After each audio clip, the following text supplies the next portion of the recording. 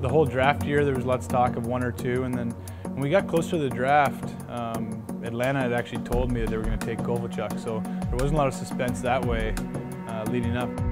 The Islanders actually held the number two pick, so I had met a lot with the Islanders, and there's lots of rumors about them trading it, uh, trading the number two pick.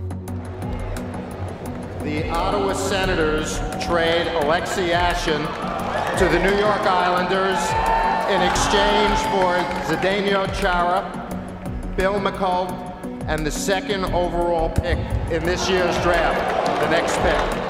When Ottawa made the trade and I, and I heard on the draft floor, I was actually you know, surprised because I didn't know. My parents my agent knew the day before, uh, but decided not to tell me. And in this day and age, that would never happen with Twitter and Facebook and all that jazz. But um, back then, they were able to keep it a secret from me, so it was you know, pretty raw and, and uh, shocking to me when it happened. And I was pretty excited getting drafted by a Canadian team and um, so close to home.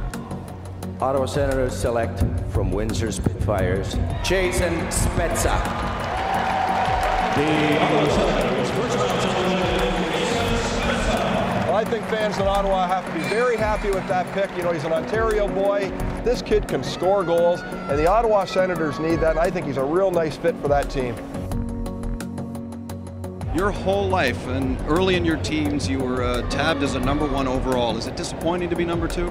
No, I don't think so. My goal is playing National Hockey League, and it doesn't matter where. And uh, you know, I'm happy it's Ottawa now, and it's great for my family. It's close to home, and I can stay in Canada.